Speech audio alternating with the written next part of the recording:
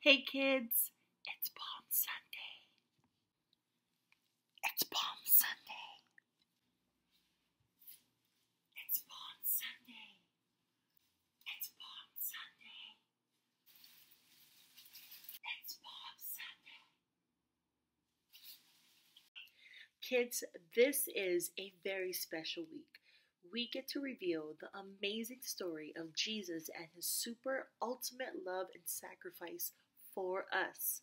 As we get ready for Easter Sunday, we will take a look at the events that led up to Easter. Thousands of years ago, this week represented more than just eggs and bunnies and Easter baskets. This week represented something spectacular that tells us that Jesus really meant it when he says, We matter. That's why we celebrate Jesus on Palm Sunday. So check out the story. Stories of the Bible The Triumphal Entry. This is Jesus, Heyo! who is the Son of God and the Savior of the world. While Jesus was on earth, he taught everyone about God's love and healed people from their sickness. He did many miracles like calming storms shush. and even raised people from the dead. Uh, Wahoo! At this time, the Jewish people were celebrating a festival called Passover that had been celebrated since the time of Moses, when God brought his people out of Egypt.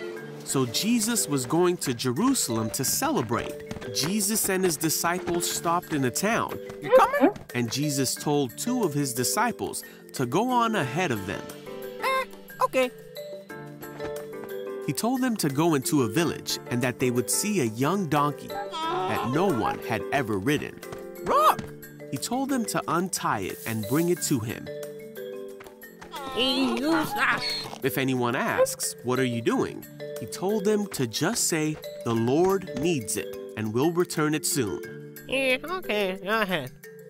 So the disciples did what Jesus said and brought him the donkey. A long time ago, before Jesus was even born, God had said that the Savior, the King of Israel, would come to Israel in this way. And now Jesus was doing just as God had said. The news that Jesus was coming to Jerusalem swept through the city. Many heard about all the amazing things he had done, so they cut palm branches and ran to see him. Huh? The Pharisees and religious rulers realized that there was nothing they could do, for everyone was going to see Jesus. Jesus rode into the city of Jerusalem, and the crowd spread their coats on the road ahead of him. His followers began to shout and sing as they walked along, praising God for all the wonderful miracles they had seen. The Pharisees were upset Hey, Jesus! and they told Jesus to stop the people from saying things like that. But Jesus said, if they keep quiet, the stones along the road would burst into cheers. So the people kept on singing, Blessings on the King who comes in the name of the Lord. Praise God in highest heaven. The entire city of Jerusalem was in an uproar as he entered, asking, Who is this? And the crowds replied, It's Jesus. And Jesus rode the donkey through the street of Jerusalem to the temple in a triumphal entry, just as God said he would many years before.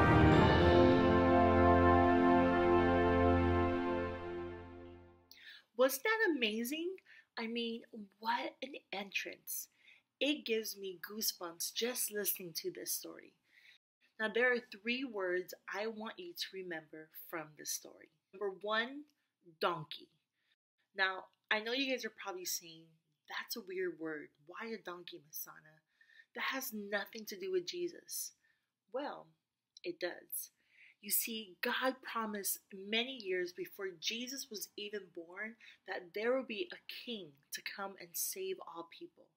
Jesus is that promised king. And when I think of a king, I think about kings who ride on their horses and come to be better than everyone else and show off and use power to force people. But Jesus is not like that. When he comes in on the donkey, he is coming with no pride, not showing off, but coming in with love and humility. Number two, palms. Okay, now you might be thinking once again, why a random word, Masana? But did you see what happened in that video? The people cut off palm branches and waved them in the air and laid them on the ground along with their cloaks to honor Jesus. It was a celebration sign. And did you know that palm trees in the ancient times were seen as majestic? Because they grew so large and up to 50 feet tall, and their leaves grew out so high. They shouted out, Hosanna, which means save now, to celebrate the one and true Savior of the world. Palm branches represented victory, goodness, joy. They were used in many festivals to celebrate a joyful occasion. Number three, wept. Now, as Jesus was riding in on his donkey in the crowds where everyone was shouting his name and singing his praises, the Bible says that Jesus looked at the city and wept. Jesus? Sad? Why? Although this was a very happy celebration for Jesus coming into the city, Jesus knew that there was a big plan he needed to do. And this big plan was going to change people's lives, change their hearts. But Jesus knew that there were many people who did not know the truth. They did not know Jesus. And Jesus felt compassion for them. The Bible says, if they only knew. Jesus was getting ready to do something super important, and it came with a price. Kids, I want you to remember how important this week is. I want you to keep in mind those three words donkey, palms, and wept.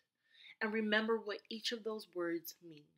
This Wednesday, we continue the story of Jesus at his Last Supper with his disciples. Families, thank you so much for tuning in into our Palm Sunday video message. And don't forget to tune in next Sunday for our Easter Sunday. Oh, and families, I have something fun for all of you to enjoy. It's called Quarantine Bingo. In our post, check out the link for you to download, copy, or print out. Also, don't forget, leave a comment, like, or share these videos. I love you all, kids. Be safe and have a great week.